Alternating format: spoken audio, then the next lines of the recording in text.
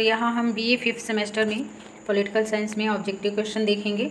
और ये बीए के साथ साथ टीजीटी या पीजीटी की आप तैयारी करते हैं तो पॉलिटिकल साइंस या सिविक से तो उसके लिए भी समान रूप से उपयोगी है। तो रिवीजन कर सकते हैं, देख सकते हैं। तो देखते हैं क्वेश्चन हमें। पहला जो क्वेश्चन है, कह रहा है किस राजनीतिक चिंतन ने राजनीति को अधिपति विज्ञान या मास्टर साइंस कहा था तो अरस्तु ने कहा था। अरस्तु राजनीति विज्ञान के जनक भी कहे जाते हैं। अगला क्वेश्चन है कि निम्नलिखित में से किसी देश की तुलनात्मक अध्ययन करने के लिए किसी एक को चुना जाएगा। राजनीतिक दल, संसद, सेना, उपरोक्त सभी तो डी जो है सही हो जाएगा। तुलनात्मक तो अध्ययन करने के लिए इन तीनों का अध्ययन किया जाता है।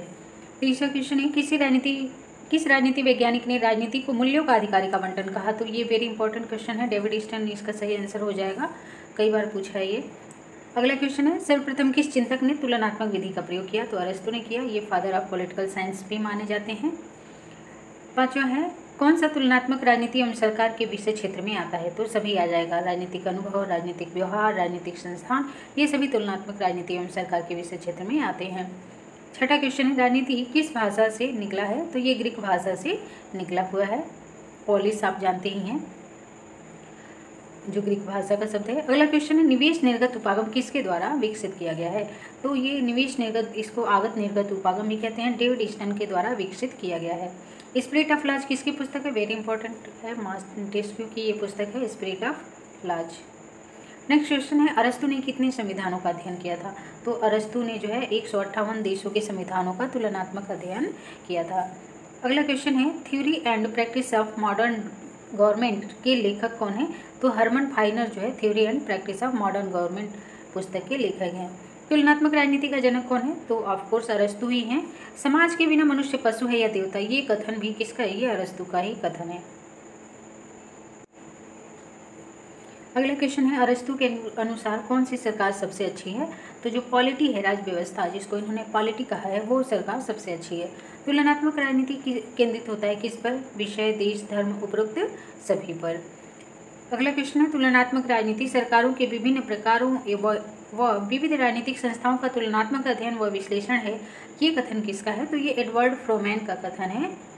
अगला क्वेश्चन कह रहा है कि तुलनात्मक राजनीति की परिभाषा देते हुए किसने कहा कि तुलनात्मक सरकार वर्तमान विश्व में राष्ट्रीय सरकारों के प्रतिमानों का तुलनात्मक अध्ययन है?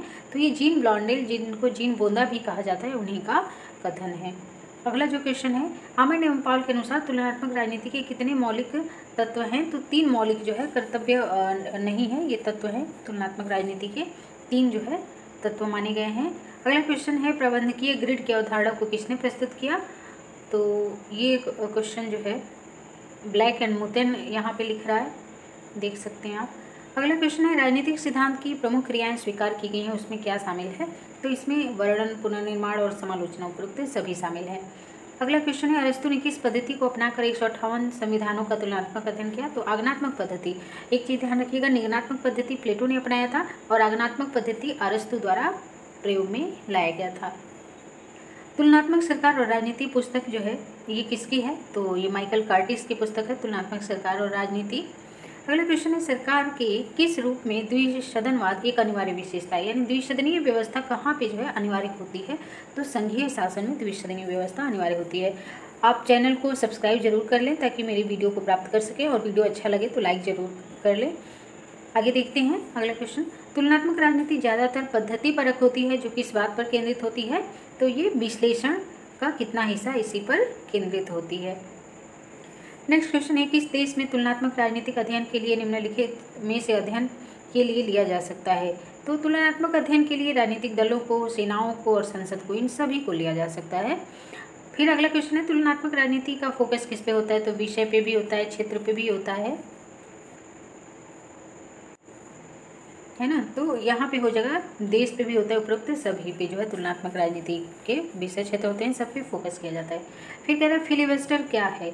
तो फिलिवेस्टर ये जो है वोट दे वोट में देरी करने के लिए संसद में एक लंबा भाषण है, जिसको फिलिवेस्टर कहा जाता है। अमेरिकी स्वतंत्रता की घोषणा जो है, कब जारी किया गया था? वेरी इंपॉर्टेंट है, सत्रह सौ छिहत्तर में सेवनटीन सेवेंटी सिक्स में। अमेरिकी संविधान में एक प्रस्तावना शामिल है और इसमें सात लेख हैं, यानी टोटल जो है सेवन आर्टिकल्स हैं और एक प्रियम्बल है। अमेरिकी संविधान किस सिद्धांत पर आधारित है? तो ये अधिकारों के विभाजन पर आधारित है। फिर है न्यू जर्सी योजना के द्वारा समर्थित होने की सबसे अधिक संभावना है तो छोटे आबादी वाले राज्य। कौन से दो राजनीतिक विचारक तुलनात्मक राजनीति के संस्थागत दृष्टिकोण का प्रतिनिधित्व करते हैं? तो डुगर्जर और सार्टोरी जो है, ये तुलनात्मक राजनीति के संस्थागत दृष्टिकोण का समर्थन करते हैं या प्रतिनिधित्व करते हैं।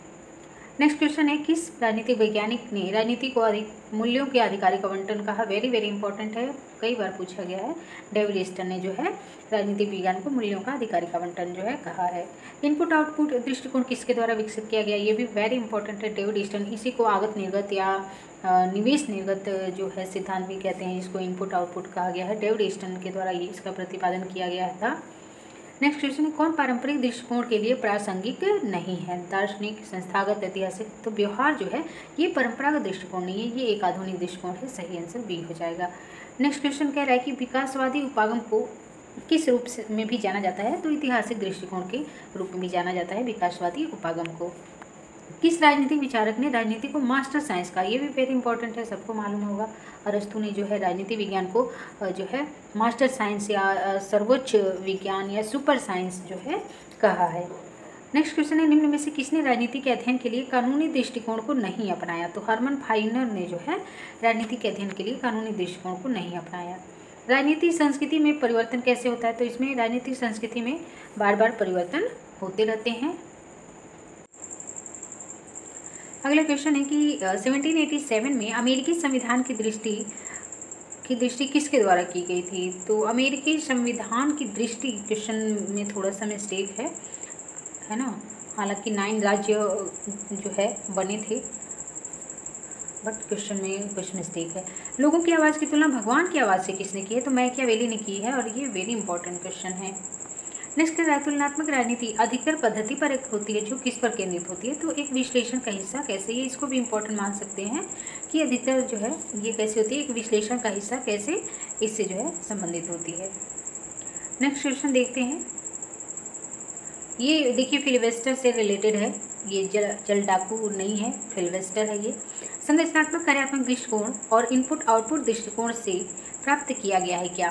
तो सामान्य प्रणाली सिद्धांत, ये क्वेश्चन इम्पोर्टेंट हो सकता है। पीछे एक बार कॉम्पिटिशन में पूछा गया था तो देख सकते हैं आप इसको। पोस्ट बिहेवियर जो पोस्ट बिहेवियरलिज्म का जो अप्रोच है, वो कब सामने आया? तो ये जो है, बीसवीं सदी के मध्य साठ के दशक में, यानी जो है नाइनटीन फिफ्टी के बाद, नाइनटीन सिक्सटी के दशक में ये आया है। राजनीति संस्कृति बदलती है कैसे? तो ये बार बार बदलती रहती है। पॉलिटिकल कल्चर जो है चर्च क्लब व्यवसाय, ये सभी किसके तत्व हैं? तो नागरिक समाज के तत्व हैं चर्च क्लब और व्यवसायी। संयुक्त राज्य अमेरिका के संविधान में पहले दस संशोधन क्या कहलाते हैं? वेरी इंपॉर्टेंट है तो अधिकारों का विधेयक है। प्रथम दस संशोधन जो अमेरिकी संविधान में किए गए हैं, वो अधिकारों से संबंधित हैं। अगला क्वेश्चन कह रहा है कि निम्नलिखित में से कौन सी अमेरिकी संविधान की विशेषता नहीं है? तो एक सदनीय नहीं है ये। क्योंकि वहाँ पे द्विसदनीय विधायिका है। यहाँ पूछें कौन सी विशेषता नहीं है। संयुक्त राज्य अमेरिका के प्रथम राष्ट्रपति कौन थे? जॉर्ज वाशिंगटन थे। और नेक्स्ट क्वेश्चन और लास्ट क्वेश्चन है आज के वीडियो का। 1840 के बाद से सप्ताह के किस दिन अमेरिकी राष्ट्रपति के चुनाव हुए हैं। तो मंगलवार को कराए जाते हैं ये। आई होप वीडियो आपके लिए हेल्पफुल है। और आपको किसी और विषय पे वीडियो चाहिए तो कमेंट बॉक्स में लिख सकते हैं। वीडियो अच्छा लगता है तो लाइक शेयर और सब्सक्राइब ज़रूर करें। धन्यवाद।